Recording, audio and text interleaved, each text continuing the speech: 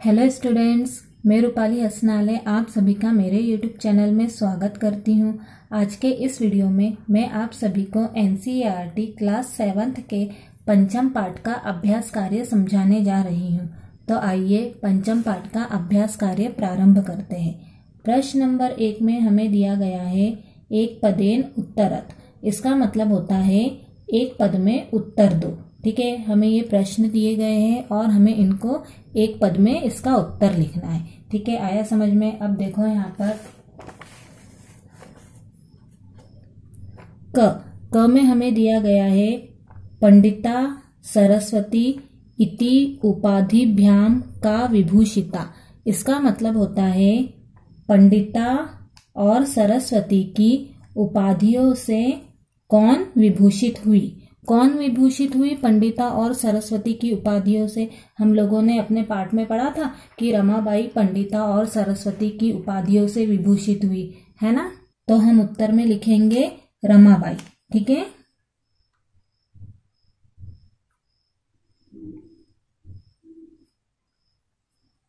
रमाबाई पंडिता और सरस्वती की उपाधियों से विभूषित हुई, ठीक है? हमारा प्रश्न था, पंडिता और सरस्वती की उपाधियों से कौन विभूषित हुई? तो इसका उत्तर है रमाबाई।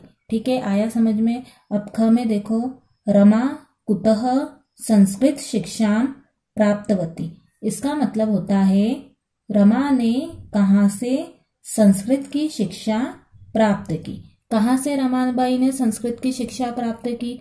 अपनी माता से संस्कृत की शिक्षा प्राप्त की थी? है ना? तो हम क्या लिखेंगे उत्तर में? हम उत्तर में लिखेंगे स्वमातुहु ठीक है? स्वमातुहु मतलब अपनी माता से। रमा ने अपनी माता से संस्कृत की शिक्षा प्राप्त की, ठीक है? आया समझ में? अब ग में देखो। रमाबाई केन सह विवाहम अकरोत। इसका मतलब होता है रमाबाई ने किसके साथ विवाह किया? किसके साथ रमाबाई ने विवाह किया? विपिन बिहारी दास के साथ विवाह किया, है ना? तो हम उत्तर में क्या लिखेंगे? हम उत्तर में लिखेंगे विपिन बिहारी दासेन ठीक है? विपिन बिहारी दासेन।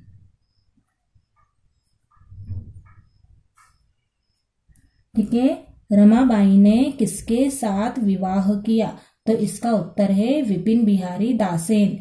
रमाबाई ने विपिन बिहारी दास के साथ विवाह किया। ठीक है, आया समझ में? अब घ में देखो।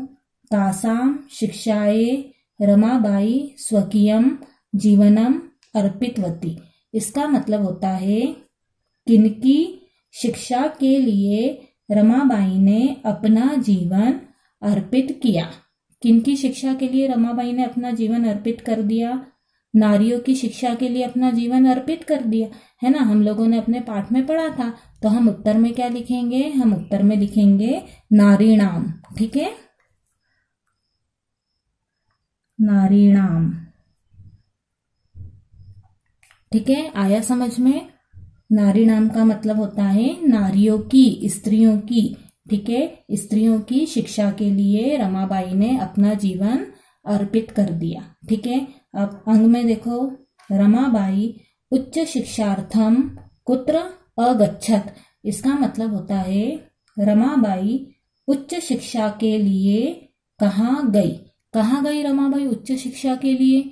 इंग्लैंड देश गई थी, है ना? तो हम उत्तर में क्या लिखेंगे? हम उत्तर में लिखेंगे, इंग्लैंड देशम, ठीक है? इंग्लैंड देशम।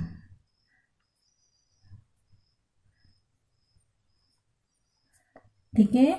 रमाबाई उच्च शिक्षा के लिए इंग्लैंड देश गई। ठीक है? हमें एक पद में उत्तर पूछा था, इसी कारण से हम लोगों ने क्या करा है? एक पद में उत्तर लिखा है। ठीक है? आया समझ में? अब प्रश्न नंबर दो देखिए। प्रश्न नंबर दो में हमें दिया गया है, रेखांकित पदानी आधृत्य प्रश्न निर्माणम कुरुत। इसका मतलब होता है रेखांकित पदों के आधार पर प्रश्न निर्माण करो। ठीक है? आपको यहाँ पर जो अंडरलाइन दिख रही है है ना? इन अंडरलाइन का क्या करना है? प्रश्न बनाना है। ठीक है? आया समझ में? अब क में देखो। रमाया पिता, समाजस्य प्रताड़नाम असहत। इसका मतलब होता है, रमा के पिता ने समाज की ताड़ना सही। ठीक है? तो अंडरलाइन कहाँ पर है? अंडरलाइन है, रमायाहा पर है। ठीक है? रमायाहा मतलब रमा के। तो हमारा प्रश्न क्या बनेगा? किसके? ठीक है? किसके पिता ने समाज की ताड़ना सही? ठीक है?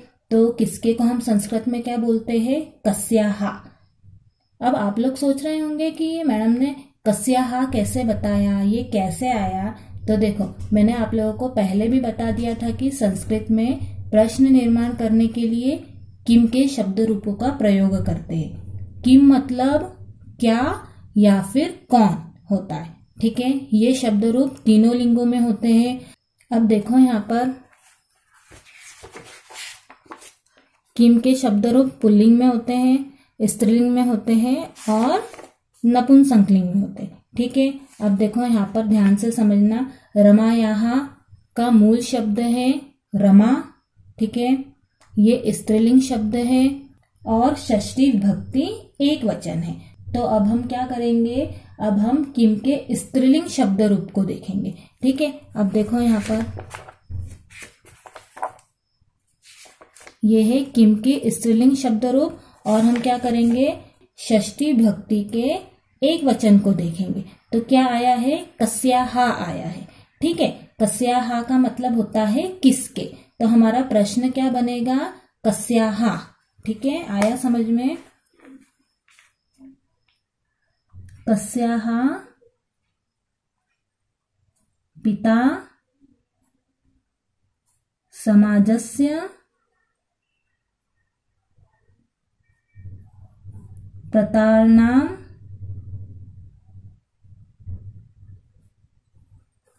असहत।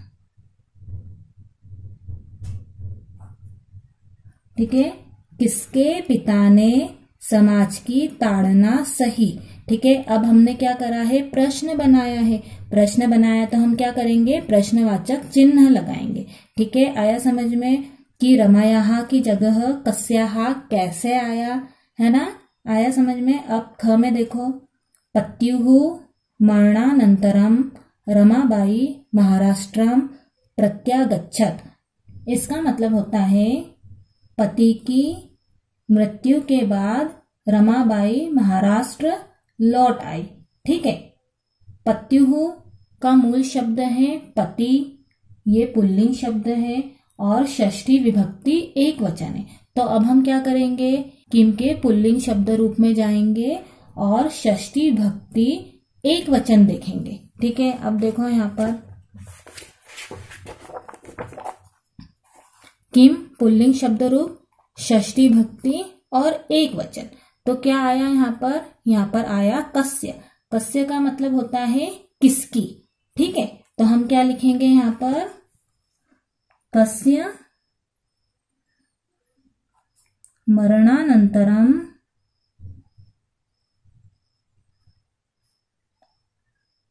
रमाबाई महाराष्ट्र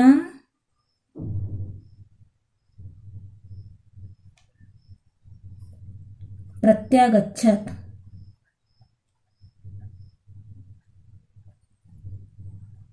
ठीक है कस्य मरणानंतरम रमाबाई महाराष्ट्र प्रत्यागछत किसकी मृत्यु के बाद रमाबाई महाराष्ट्र लौट आई ठीक है? आया समझ में? अब ग में देखो।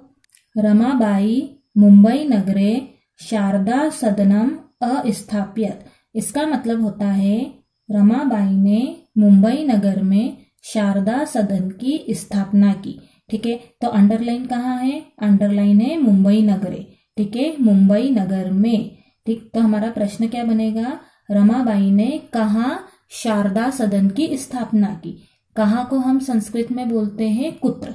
कुत्र एक अव्यय है, कुत्र का प्रयोग प्रश्न निर्माण में करते हैं। ठीक है? और मुंबई नगरे क्या है? मुंबई नगरे नपुंसकलिंग शब्द है, सप्तमी विभक्ति है और एक वचन है। ठीक है? तो हम इसकी जगह कस्मिन भी लिख सकते थे। पर मैंने अभी आपको बताया कि कुत्र का प्रयोग हम प्रश्न निर्माण में करते हैं। ठीक है? तो हम मुंबई नगरे की जगह क्या लिखेंगे? हम मुंबई नगरे की जगह लिखेंगे कुत्र। ठीक है? कुत्र का मतलब होता है कहा? ठीक रमाबाई कुत्र शारदा सदनम अस्थापयत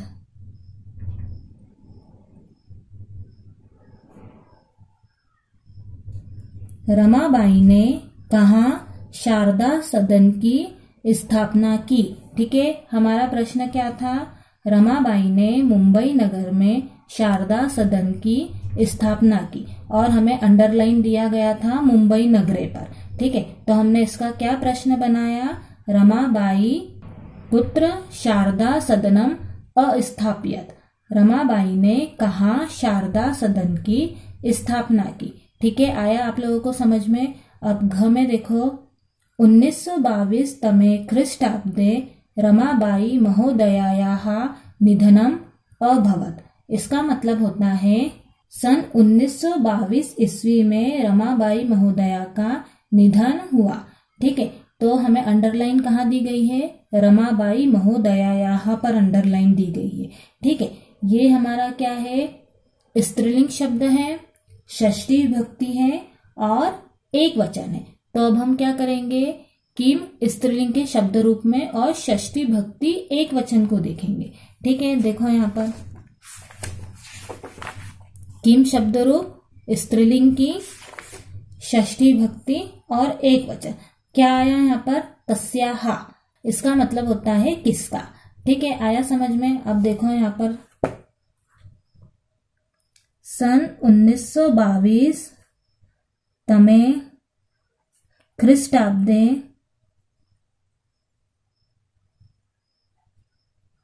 यहाँ पर क्या आएगा? रमाबाई महोदया की जगह आएगा तस्याहा ठीक है? तस्याः निधनम। अभवत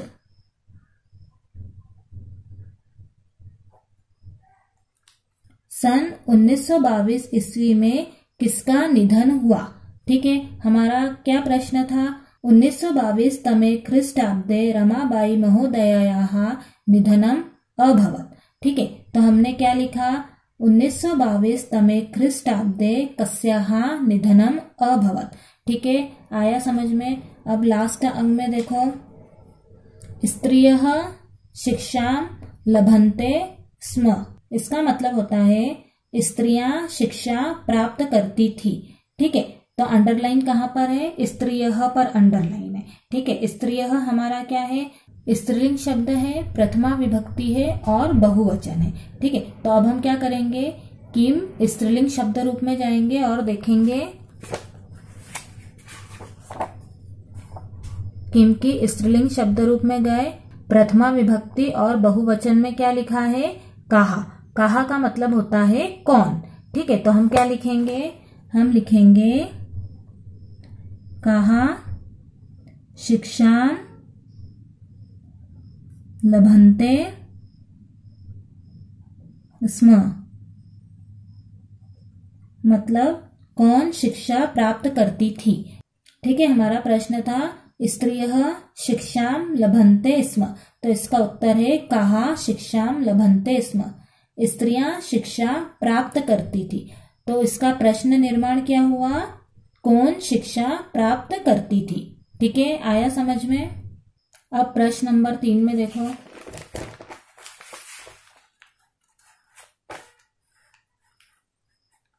प्रश्न नंबर तीन। प्रश्न नंबर तीन में हमें दिया गया है, प्रश्नानाम उत्तराणी लिखत। इसका मतलब होता है प्रश्नों के उत्तर लिखो। ठीक है, अब क में देखो। रमाबाई किमर्थम आंदोलनम प्रारब्धवती। इसका मतलब होता है, रमाबाई ने किस लिए आंदोलन प्रारंभ किया? ठीक है तो इसका उत्तर है, रमाबाई स्त्रीणाम कृते वेदादीनाम शास्त्राणाम शिक्षाए आंदोलनम प्रारब्धवती। उसका मतलब होता है, रमाबाई ने स्त्रियों के लिए वेद आदि शास्त्रों की शिक्षा के लिए आंदोलन प्रारंभ किया। ठीक है, आया समझ में? अब ख में देखो। निह सहाया स्त्रिय आश्रमे किम किम लभंते स्म। इसका मतलब होता है, बेसहारा स्त्रियाँ आश्रम में क्या क्या प्राप्त करती थी? तो इसका उत्तर है निसहाया स्त्रिय आश्रमे मुद्रण, टंकण, काष्ठकलादीनां च प्रशिक्षणं लभन्ते स्म। बेसहारा स्त्रियाँ आश्रम में छपाई टाइप और लकड़ी की कलाकारी आदि का प्रशिक्षण प्राप्त करती थी। ठीक है? आया समझ में? अब ग में देखो। कस्मिन विषय रमाबाई महोदया योगदानम अस्ति। इसका मतलब होता है किस विषय में रमाबाई महोदया का योगदान है?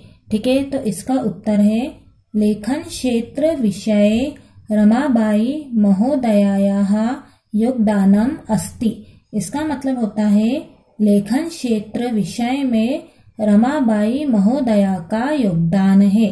ठीक है, आया समझ में? अब देखो लास्ट देखो, घ में, केन रचना द्वयन रमाबाई प्रशंसिता वर्तते। इसका मतलब होता है, किन दो रचनाओं के द्वारा रमाबाई की प्रशंसा हुई? ठीक है तो इसका उत्तर है, स्त्री धर्म नीति, हाई कास्ट हिंदू विमेन, इति, रचना द्वयन, रमाबाई, प्रशंसिता वर्तते। इसका मतलब होता है, स्त्री धर्म नीति और हाई कास्ट हिंदू विमेन, इन दो रचनाओं के द्वारा रमाबाई की प्रशंसा हुई। ठीक है? आया समझ में? अब मैं बचे हुए प्रश्नों को प्रश्न नंबर चार, प्रश्न नंबर पाँच और प्रश्न नंबर छह। मेरे अगले वीडियो में बताऊँगी। आप लोगों को प्रश्न नंबर एक, दो, तीन यदि समझ में आया हो तो आप मेरे वीडियो को लाइक और सब्सक्राइब कीजिए। Thank you.